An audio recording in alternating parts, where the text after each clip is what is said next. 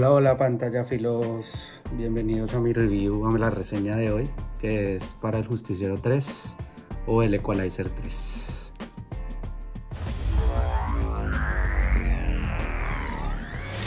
Nine seconds.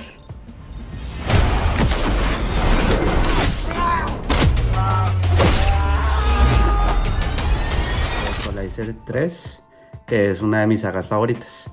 Eh, estuve esperándola por cinco años, incluso no sabía si la iban a producir o no.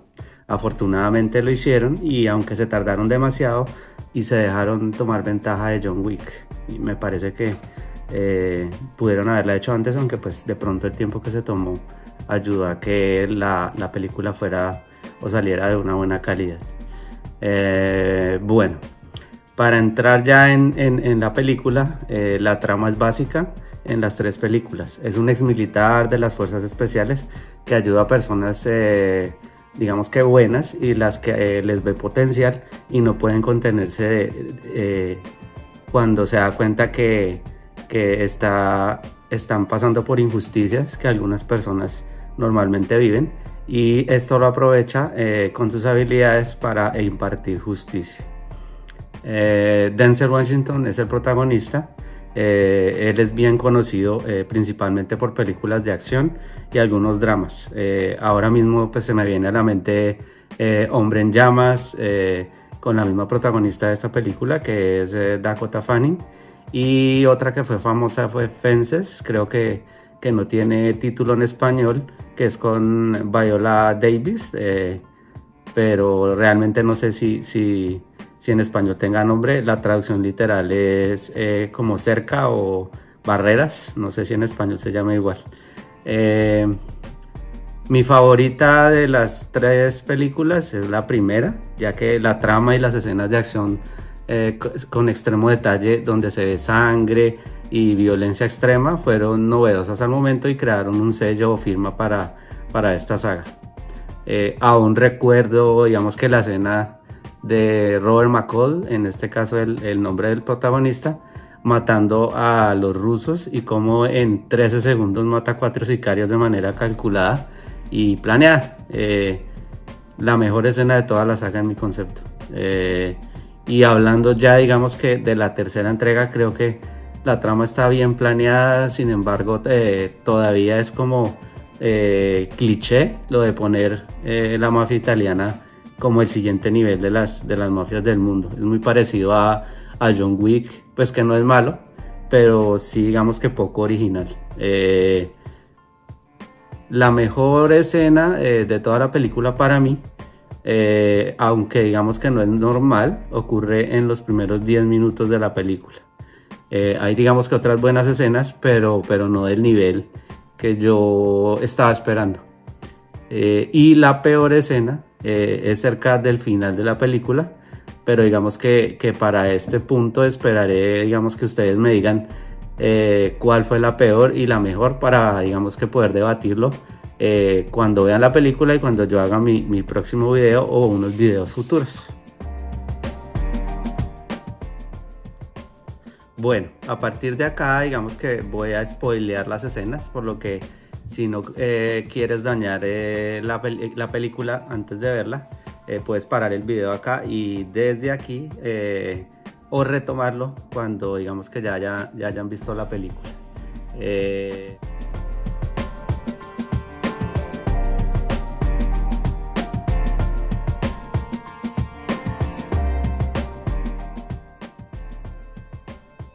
Ahora sí entremos en materia. La mejor escena, digamos que para mí, es cuando eh, McCall o el señor McCall, como lo llaman en la película, está sentado en la, en la silla esperando a que el capo de la droga, vigilado por, por dos matones, y, le dice que tiene nueve segundos para devolver eh, lo que había tomado y que, no, y que no era de él, como que no le pertenecía lo que él había tomado. Luego de, de esa advertencia, eh, eh, por 9 segundos, eh, mata a los dos sicarios y le dispara varias veces al capo. Eh, una de ellas en el, en, el, trasero cuando estaba arrastrándose tratando de escapar. esa escena me pareció, digamos que, muy parecida a la escena de los rusos en la primera entrega, pero un poco más corta. Por supuesto hay que aclarar que esto no es, digamos, una apología a la violencia, pero aunque la escena, digamos, que es exagerada, eh, nos deja ver pues la frialdad con la que eh, una persona como el justiciero en este caso eh, piensa que debe tratar a este tipo de, de, mafias y este personaje digamos que nos representa un poco en términos de hacer justicia con gente que, cree que tiene el mundo bajo su control. me gustaría saber si ustedes están de acuerdo conmigo ¿no? en, en que esta es una digamos que de las mejores escenas. Eh, bueno, ahora la, la, peor escena para mi gusto. Eh, no por cómo fue lograda, sino por digamos que ilógica que desde mi punto de vista parece, es cuando el jefe de la familia, eh, que es de, apellido 40, Vincent en este caso, tiene a McCall, al justiciero, en la mitad de la plaza del pueblo con la oportunidad de matarlo y solo por el eh, apoyo digamos que ofrecido por la gente eh, del pueblo se retira del lugar y, digamos que con un solo tiro o disparo eh, que este mafioso o este jefe de la mafia hubiera hecho para matar a, a, a Macol hubiera sido muy difícil de hacer. Pero pues digamos que es normal es por supuesto cine y ficción y como siempre digamos que hay partes que hacen eh, eh, pues parte de un guion que no siempre se alinea con la realidad. Eh, no sé si para ustedes esta, esta escena también les parezca una de las peores o si hay alguna otra que, que, para ustedes no tenga sentido o que, o que les parezca difícil de, de digerir. Y pues por supuesto en el siguiente video eh, mencionaré si alguien eh, escribe su, punto de vista en este tema. Eh, ahora podemos hacer un breve resumen de la película para que los que quieran saber la historia y, no les parezca que merece gastar más o menos una hora y 40 minutos frente a la pantalla, puedan digamos que entender y saber de qué se trata. en voy a tratar de ser breve con el resumen, pero pues digamos que, depende cuánto, eh, qué tan, eh, digamos que calculado sea el, método de, contarlo. Vamos a ver cómo, cómo me va. Eh, el justiciero comienza desarticulando una mafia encargada de producir drogas y distribuirlas y para eso tiene que ingresar a una casa donde termina matando al jefe de esa mafia. Eh, el que mencioné como la mejor escena es, digamos que esa parte. Eh, cuando él intenta escapar eh, de esa casa, ya después de haber acabado con prácticamente toda la mafia, un niño que está esperando, digamos que en la camioneta afuera de la casa, le dispara por la espalda y lo hiere gravemente, al punto que intenta, digamos, darse un tiro en la cabeza porque siente que, que el tiro fue mortal pero la pistola no tiene balas. Entonces ah, eh, continúa con su escape. En ese momento, eh, digamos que creí que el tema iba a ser lo que pasó antes eh, para llegar a este punto. lo que quiero decir es em, como que el tema iba a ser el cliché de siempre de que ponen seis meses antes o dos meses antes y, y cuentan lo que pasó hasta, hasta que él llega y cómo iba a morir en el lugar que se estaba desangrando. Eh, eh, luego, luego de esto, un médico que vive en Sicilia lo encuentra y lo cura y durante tres días lo cuida hasta que él es capaz de moverse por sí solo. Eh, en el proceso de recuperación conoce pues varias personas del pueblo que son muy amables y que son parte de la comunidad y que digamos que en apariencia viven en paz. por ejemplo la mesera del café el jefe de la policía, el médico que lo curó, digamos que otros eh, personajes que van apareciendo eh, a medida que avanza la película. Eh, en este caso, el justiciero empieza a creer que, que, el lugar es bueno para, digamos, quedarse a vivir. es un lugar como ideal, donde la gente se trata bien.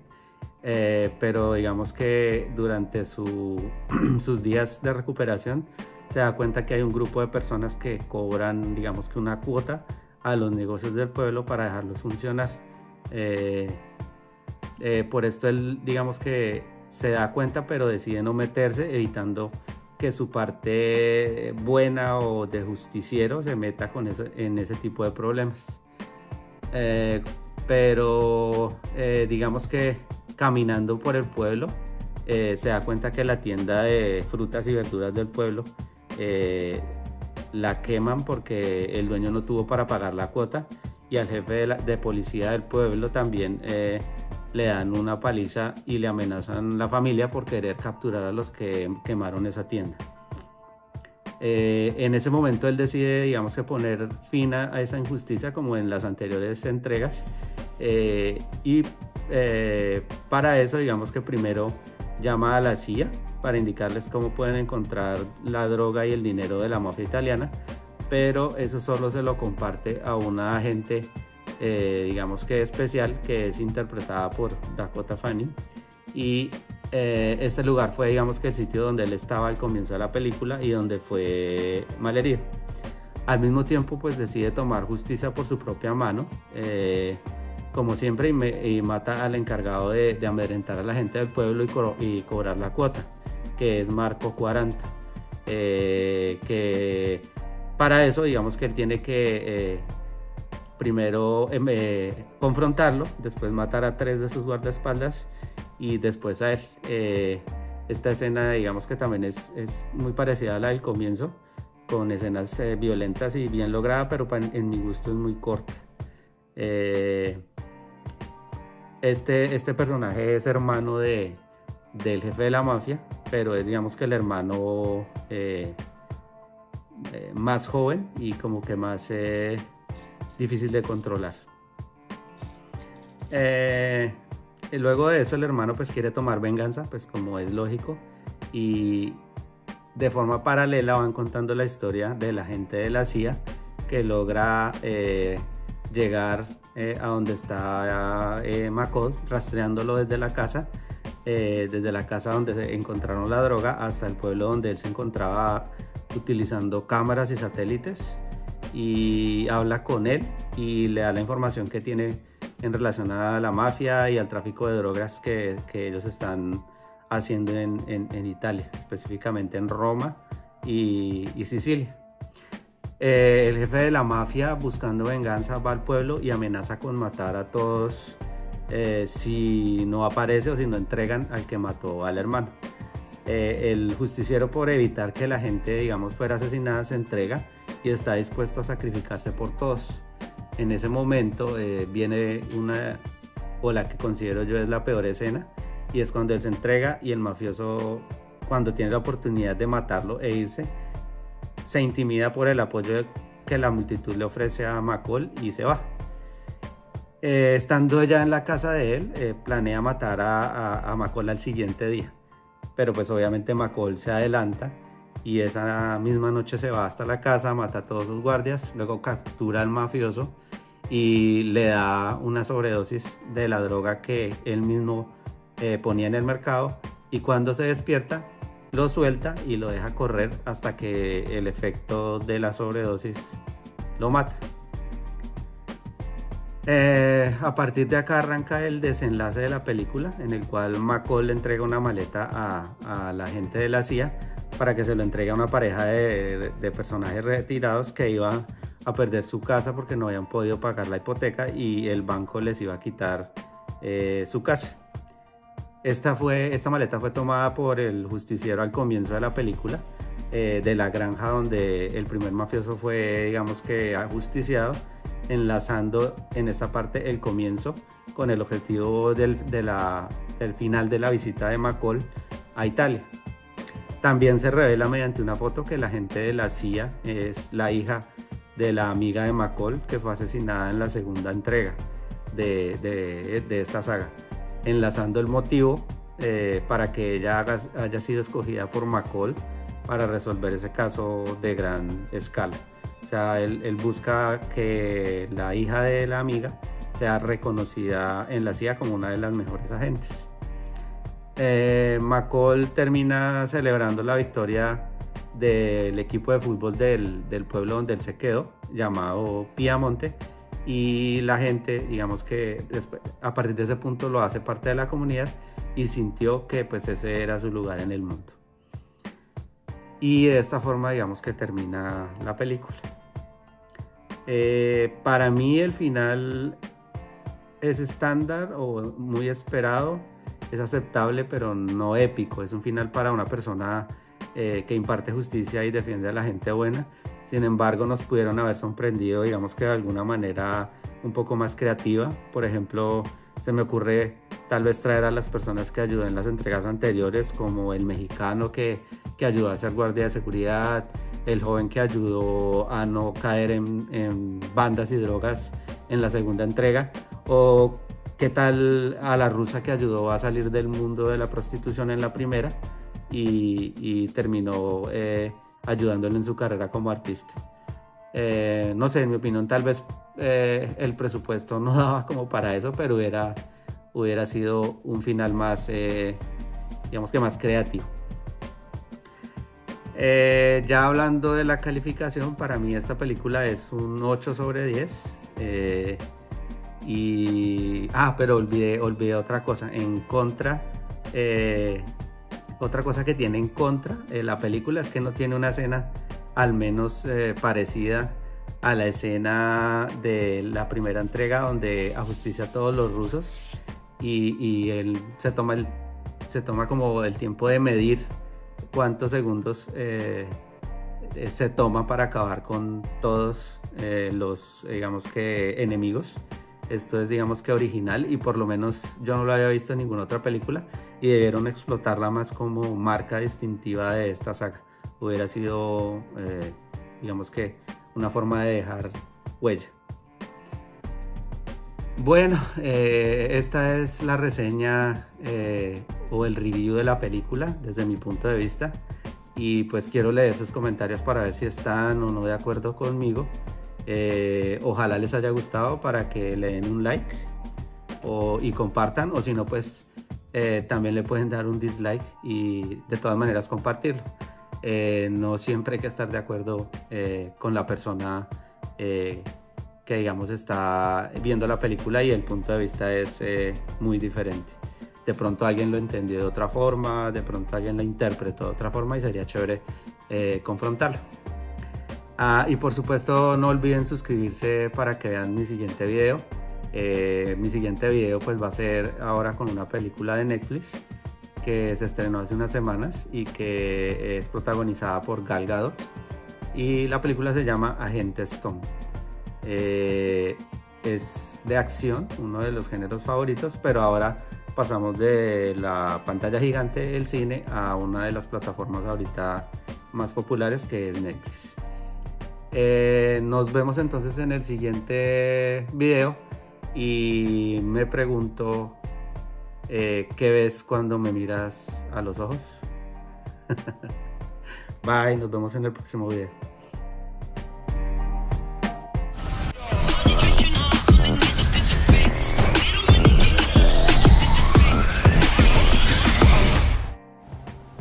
Dale like, suscríbete y activa las notificaciones. You're compromised. Don't know if you can be trusted. I'm standing you down, Rachel. I don't care. We have no idea what they're capable of. I need to shut it all down. Showtime! This is what I'm doing. Hasta la vista, baby.